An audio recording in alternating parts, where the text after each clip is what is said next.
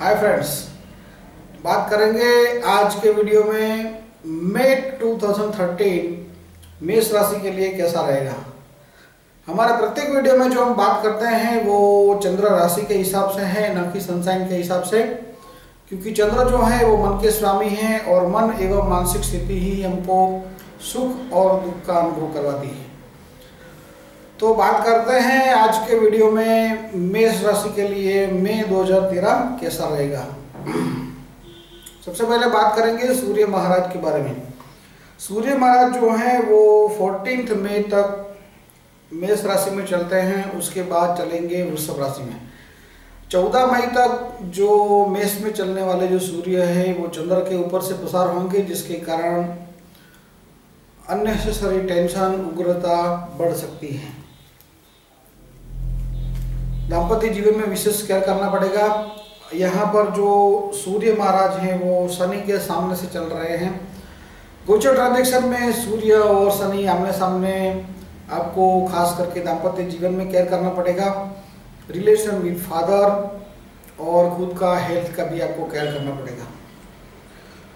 मंगल चलेंगे तेईस मई से वृषभ राशि में। तब तक मंगल जो है, वो भी मेष राशि में चल रहे हैं। यहाँ पर चंद्र के ऊपर से मंगल का जो भ्रमण है, वो भी उग्रता शॉर्ट टेम्परनेस में वृद्धि करने वाले हैं। तो इस मंथ में आपको तीसरा ग्रह जो है, बुध है, वो भी वृषभ राशि में चल रहे हैं। तेईस मई से तब तक चलेंगे मेष राशि में। तो मेष में ये केतु तो चल ही रहे हैं और चंद्र के ऊपर से चार ग्रह का भ्रमण गोचर ट्रांजेक्शन में सूर्य, मंगल, बुध और केतु उग्रता शॉर्ट टेम्परनेस में वृद्धि कर सकते हैं। उसके ऊपर शनि महाराज की दृष्टि है, खास करके ये मई महीना जो है, आपको दाम्पत्य जीवन में विशेष केयर करना है।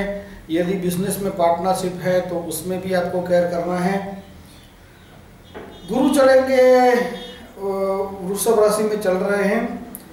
वो गुरु महाराज 31 मई को मिथुन राशि में प्रवेश करेंगे, लेकिन पूरा महीना जो है गुरु गुरु महाराज वृषभ राशि में है, जो भ्रमण शुभ रहेगा। शुक्र चार मई से वृषभ राशि में भ्रमण करेंगे, जो धन स्थल में चलेंगे, कुटुंब सुख, धन सुख में वृद्धि करने वाले हैं। कुल मिला के मई महीने में आपको खास करके केयर करना है दाम्पत्य जीवन के बारे में। टेम्परनेस के बारे में, अपने शॉर्ट टेम्परनेस को कंट्रोल करें। और डेट्स आपको केयर करना है पाँच छ और सात।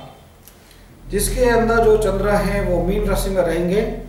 तो मिल में जो चलने वाले चंद्र हैं, वो राशि से बारहवें स्थान के चंद्र हैं। बारहवें चंद्र के अंदर आपको कोई भी इम्पोर्टेंट डिसीज़न नहीं लेना है।